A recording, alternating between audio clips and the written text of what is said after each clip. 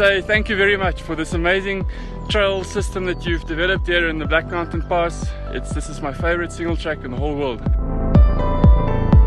Uh, it's really amazing. It's natural terrain. Sometimes it feels like you're in the Himalayas.